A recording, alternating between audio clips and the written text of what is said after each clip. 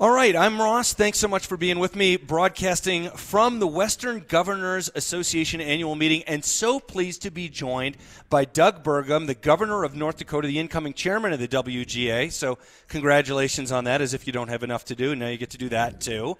And congratulations on being one of the one of the new governors here on, on your election, a guy with no political experience really, as far as I know, just said, you know what, I need I need to do something here.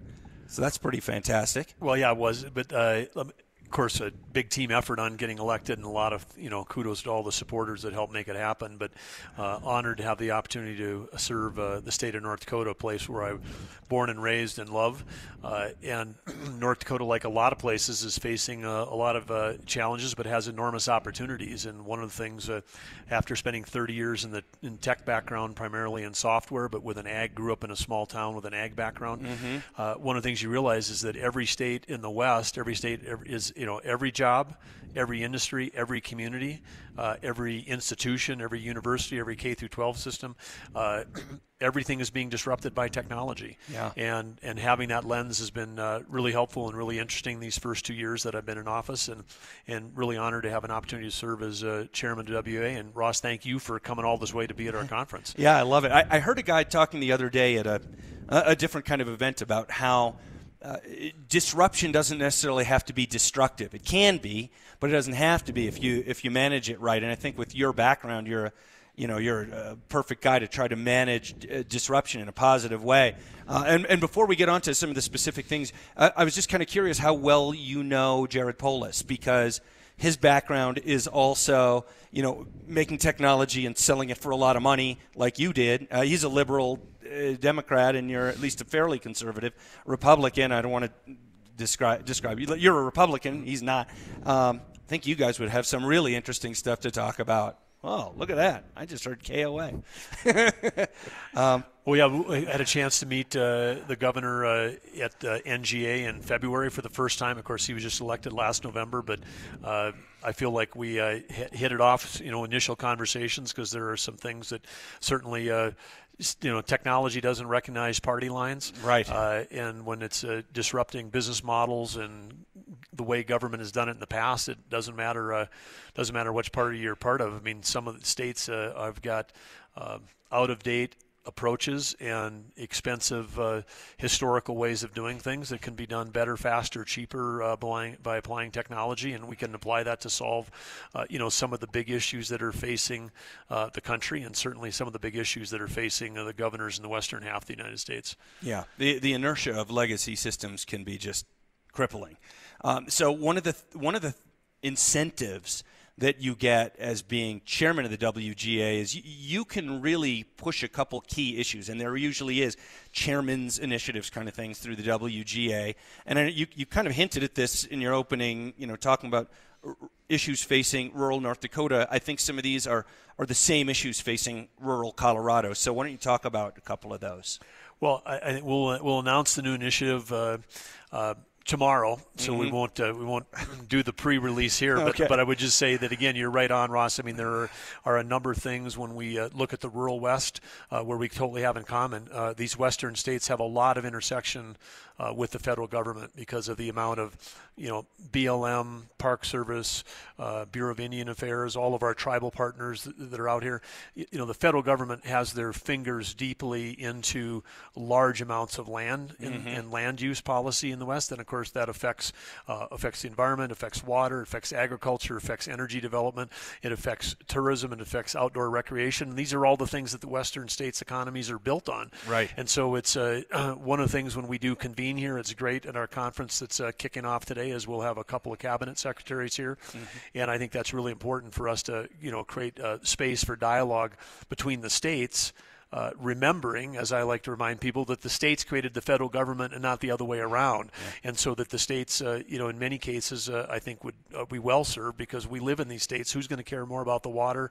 Who's going to care more about the soil? Who's going to care more about the air than those of us that live here? I think we would care about it more than a, you know, a bureaucrat in Washington D.C. So it's a, you know, so the Western Governors Association has got some special commonality that brings us together, but then that economy, which is layered on top of that, again, uh, you you know the challenge we're facing on workforce. This is the first time in the nation's history when we have more jobs available in our country than we have people seeking jobs. And so, if that's the case, it's not no longer economic development uh, is not about job creation. It's about it's about having the, the right workforce, the skilled workforce that can do those jobs, and a skilled worker can choose wherever they live the West has got a lot of advantages. We have, you know, great communities across the West uh, that provide that outdoor recreation, provide that quality of life, provide that thing, you know, where you can live in a more rural area but still be connected to the world and still be, you know, participating. And so I think the the future for uh, for the western half of the United States is very bright, but we're you know we're competing for the rest of the world with talent. Well, and and, and, by the way, for those of you just joining us, my special guest, Governor Doug Burgum of North Dakota, the incoming chairman of the Western Governors Association. So, in in Denver, we've got issues of incredibly expensive real estate, and one of the issues, one of the things that comes up is, might people be able to leave this very expensive, densely populated, maybe a little bit polluted urban environment and, and actually sort of reverse some of the demographic trends we've seen and start moving more rural again. It sounds like you think that could happen. And one of the things that I would want to ask you about, especially from your perspective as both a, a fiscal conservative and a private sector guy, is how do you envision, let's say, rural broadband, which is something that's come up in Colorado a lot as a conversation? How do you envision doing things that help rural parts of your state, rural parts of the western U.S., without doing too much spending of taxpayer money, which wouldn't, I imagine, be high on your list of things to do, spending a lot of taxpayer money? Well, I think uh, broadband you bring up is absolutely key, but we but we have to think of broadband as infrastructure at some level, and all of the western states have all been burdened because you've got huge geographies uh, it's just take take North Dakota. North Dakota, just by itself, which is not the biggest of the western states, North Dakota is as exactly the same size as the six New England states: Maine, New Hampshire, Vermont, Massachusetts, Rhode Island, and Connecticut equals North Dakota. Wow! And we have a fraction of that population, and yet we have to have all of the uh, you know farm to market roads. We've got to have all of the ability to you know have transportation move across or through our state. Mm-hmm. and so every western state is burdened uh, with a high cost of infrastructure. Right. Uh, and then you along comes broadband and we're you know we, we can't we're going to spend a billion dollars on on roads and nothing on broadband mm-hmm. when broadband is what's going to also drive the efficiencies of everything we're doing in K through 12 and healthcare, you know, agriculture, energy.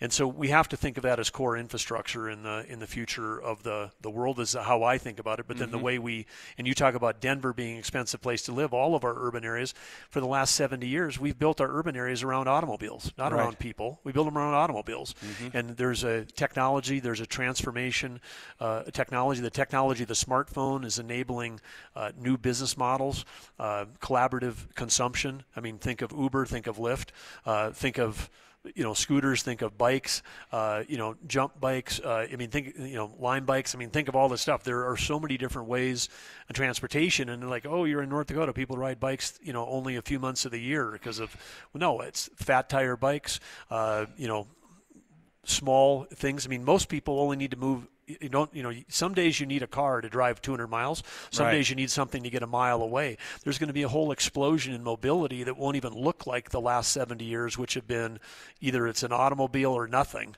I mean we have an explosion coming there and when we do that we can start thinking about how do we redesign our cities because we spend enormous a disproportionate amount on the parking and the infrastructure related to automobiles and we're not spending enough on the things that relate to uh, other forms of mobility or to broadband. And of course, that ties back to health because as a country, America, it's like, oh, America's, we spend too much on health care. Well, we also have got to, in the western part of our state, if you can't park your car where you can see the door where you're going to walk into, you know, there's, you know, let's vote the mayor out. Uh, I mean, there's this, there's an entitlement around around uh, some of the ways we've designed our cities, you know, which doesn't match up with health because if you know we spend four trillion in the United States on healthcare, one trillion of that is related to chronic diseases, you know, like diabetes, obesity, and heart disease, all of which would be solved if we just walked a little bit more.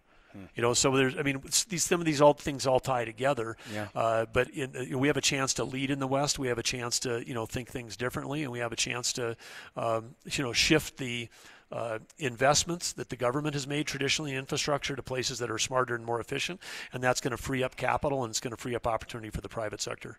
Uh, let me ask you one last question. We've got a, a minute or so left, maybe two minutes.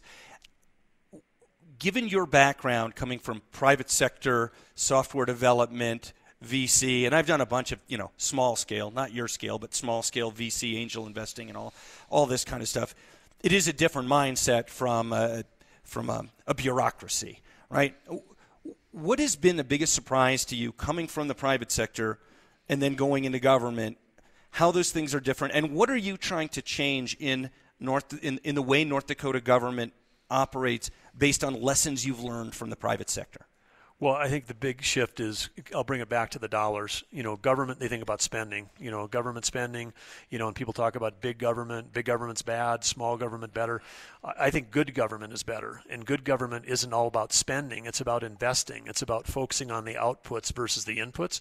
But you know, every governor I've talked to, uh, they get together and everybody fights about we need more money for this, more money for that, more you know, education, healthcare, whatever. Like they want more money. That's an input. Mm-hmm and I we were trying to shift the conversation, the dialogue in North Dakota, which is rather than talking about inputs, let's talk about outputs. How do we have how do we get better better outcomes in education, better outcomes in healthcare? And then and if once we decide we what we want and how we're going to get it, it may or may not take more money. It might take less money. It might take a different approach. Mm-hmm. But everybody believes, and I think the common often the citizenry, if a, you know if a budget goes up, they win. If we have more money for K through 12, then somehow our kids are better off. Right. Well, we, we, there's all kinds of cases where we've spent way more money and the outcomes got worse. Yeah. So we really want to focus on outcomes. Private sector has to focus on outcomes.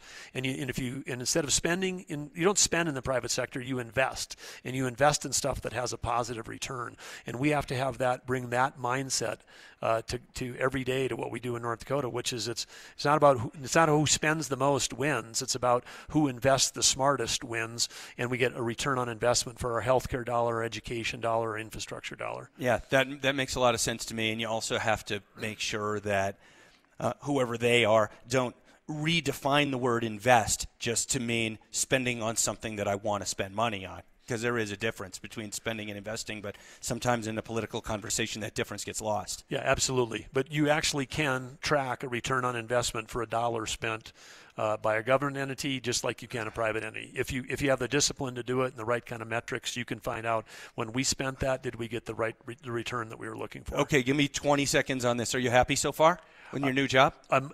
You know, I was honored. Uh, and loved the private sector. It's transformational. All the work I did there felt I had a purpose. We were, you know, improving people's lives, uh, empowering people, and inspiring success. And we brought those six words with us to government. We said government can improve lives, empower people, and inspire success. And again, you know, I'm grateful. I wake up every day. Being a governor is one of the great jobs in the world uh, because you can make a difference for your people in your state every day, and uh, it's it's like a complete honor to serve, and we're having a blast. Well, Governor Doug Burgum, the incoming chairman of the Western Governors Association, thanks for joining me here at the uh, annual meeting of the WGA, and uh, and I look forward to seeing what you do as incoming chairman uh, of the WGA. I'm sure you're looking forward to seeing that too. Like likewise. So anyway, thank you, yeah. Ross, for being here. Okay, thanks so much. Appreciate it. We'll be right back on the Ross Kaminsky Show.